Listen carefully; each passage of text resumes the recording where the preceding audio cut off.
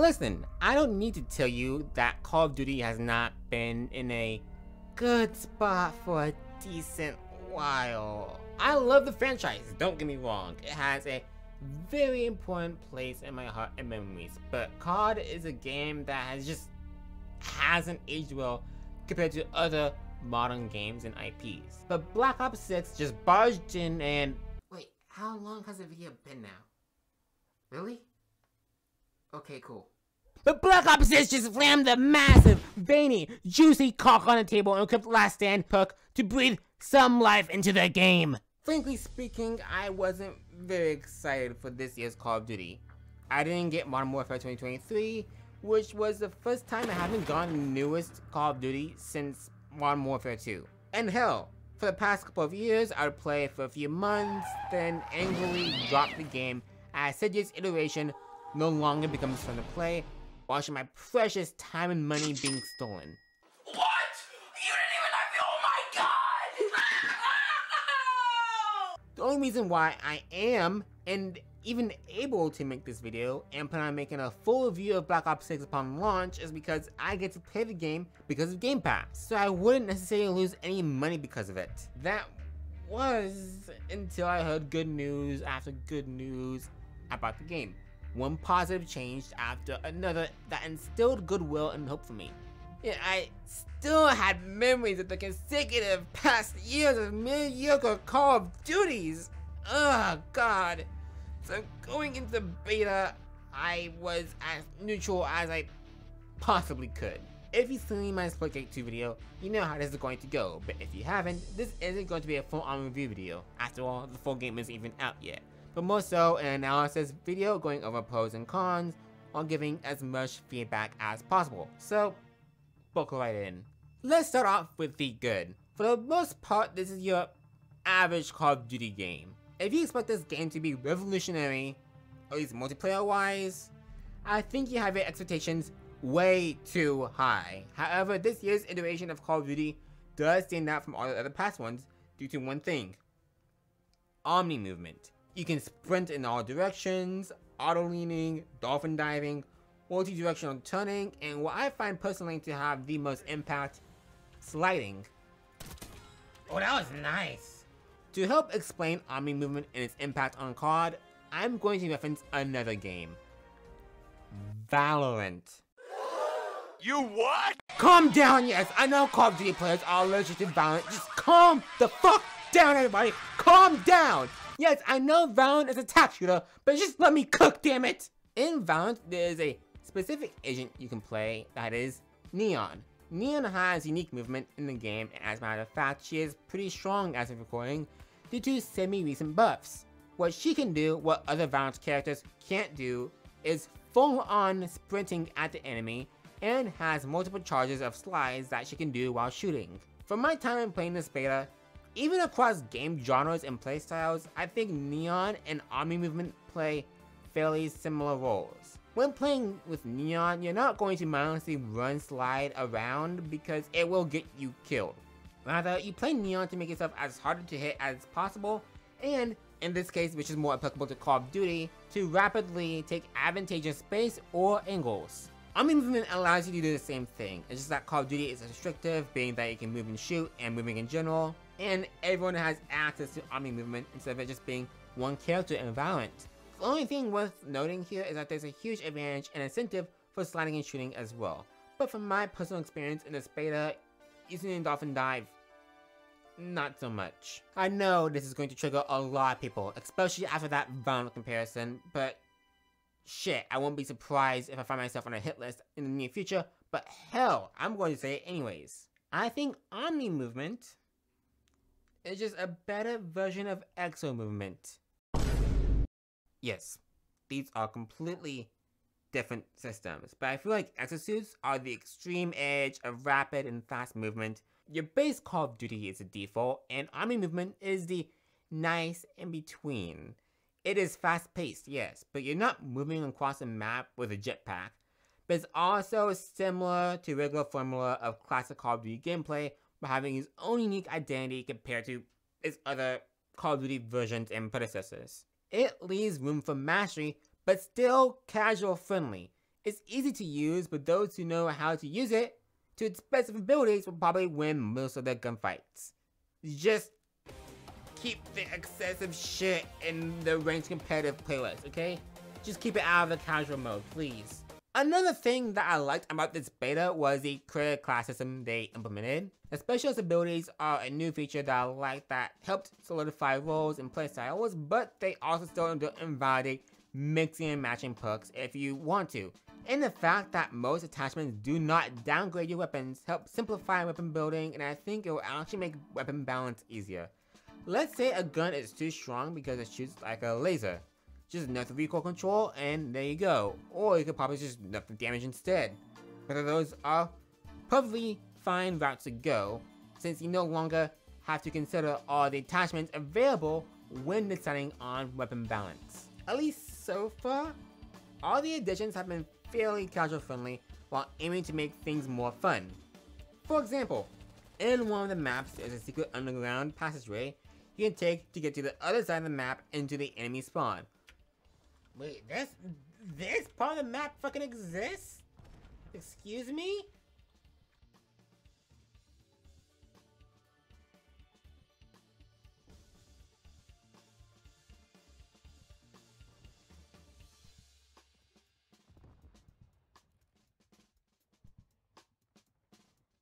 Brother!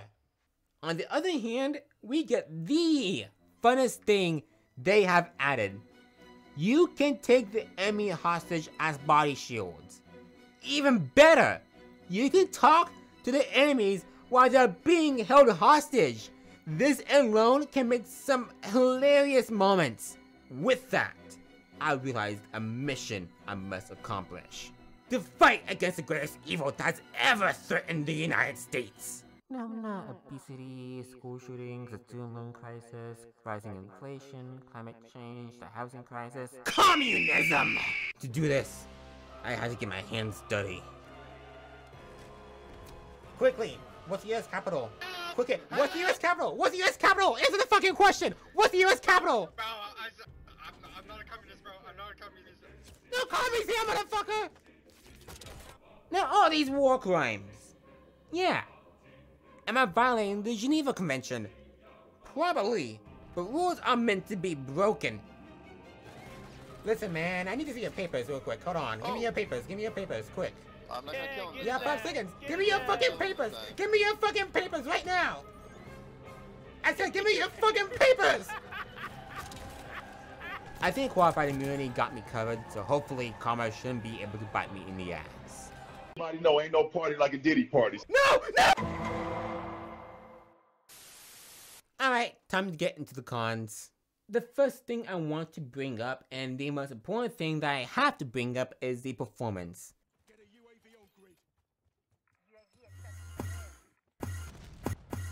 Whoa, what the fuck was that? What the fuck is going on? Huh? What the fuck is this? Thank God this was a beta, because not just me, but so many other people have noted the performance on this game is pretty damn bad.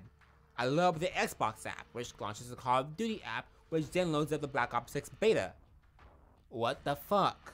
And don't get me started on the packet bursts and lag and all the other bullshit and time to load. Literally, everyone else I've seen online have these issues. It's not a me issue, it's a little game issue. Even if I had the best supercomputer in the world, it's a it's the damn game's fault. And I mean, for fuck's sake, look how many times this shit crashed. Oh, my game crashed.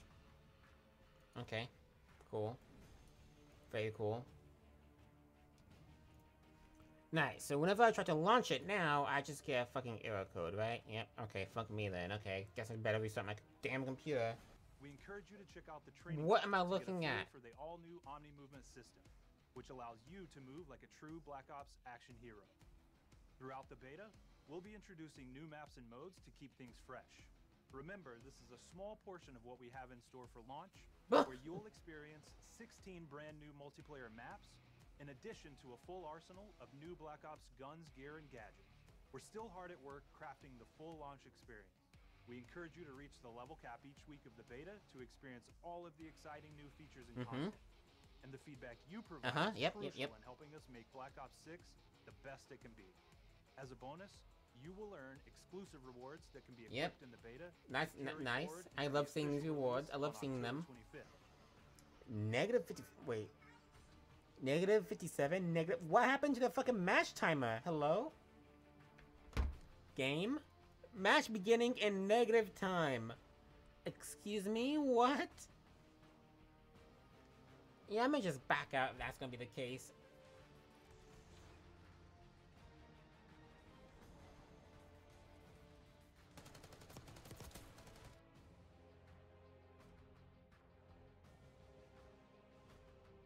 Wait, what? Brother. Brother. Brother! Brother!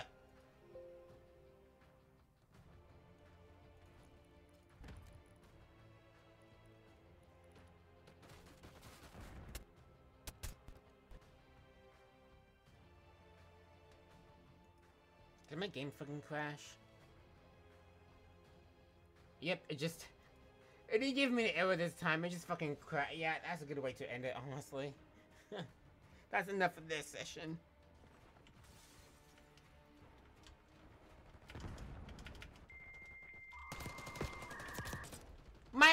Packet burst, are you serious?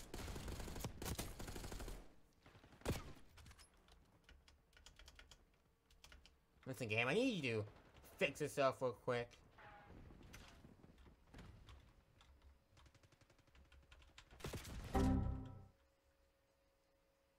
What? Did my game fucking crash again? Ain't no way. I was gonna give him back shots. No! No! Why? Why? No! I was gonna give him back shots. Mm, the universe is against me, dog. The game really didn't want me to give someone back shots, I tell you what. This is the most important thing that they have to fix, because it doesn't matter if this is the best Call of Duty we've had in the last five years, but if the game is just so piss poor quality that it can't even run functionally or decently well, then it's a shit game. I had this issue on Cold of War on fucking Xbox, to where it would always fucking randomly crash, to where I just gave up on it. I just gave up because I couldn't play. It always crashed. I couldn't do it. And if they don't solve this with Black Ops 6, it'd be the same thing. I would have to give up on it. Because I literally wouldn't be able to play the game. So this is number one on the priority list. Fix the damn performance. Number two on the priority list is that I would say that so far from the couple you have seen, at least in the core game mode, I didn't really touch Gunfight or the uh, Fight House, whatever the second mode is called. But so far, the map design has been terrible. For the five, I think, question mark, maps I've been in the Black Ops 6 beta, only one of them were okay. All the map designs, except for that one okay map, have been absolutely, like, I, I don't know what they were thinking, honestly, with the map design. We have this movement system that encourages fast, aggressive play, that makes you feel like a hero in a movie, action hero. You know, that catchphrase I've been saying this entire hype season trying to advertise the damn game. Let's put a satellite dish in the middle of a fucking desert to make a sniper's paradise to discourage people from fucking running across the map. Let's make this a slow map even though we have a movement system and encouraging action hero style gameplay. That makes total fucking sense. It's also have a three lane map to where people just sit back, snipe, and stay in the spawns. Let's also have a shipment wannabe, but it's so poorly designed due to the fact that it has so many small corners, hideaways, cubbies. It just doesn't flow well at all compared to a shipment map. If it was, if they just made that map bigger, like not small what it is right now, but small, medium size, or basically just medium in general, I think that map would be fine. But it's too small of a map to have that many tight corners, blunt objects getting in your way, walls, buildings, fucking weird archetypes, and areas to go around. It just doesn't make sense. Oh yeah, let's also have like a shopping district, and it's in the shape of a U. And when going to conversion middle of the map, it's just a sniper's long-range paradise that discourages moving towards the objective. Let's also do that. Let's let's also discourage people moving towards the middle of the map by having it be a U shape so that people can get sniped across the fucking map. That, that, let's also do that. If anything is going to kill Black Ops 6, at least in the multiplayer, it is going to be the map design. The Concerning thing about this, which is why I'm bringing it up, because I literally have zero memory. Actually, one. Let me clarify. I have one memory to where they went back and made a change in the map. And that one time they did was in the Black Ops 3 beta for some random map I can barely remember. That's the only time they went back and fixed something that was bad in the map. That one time.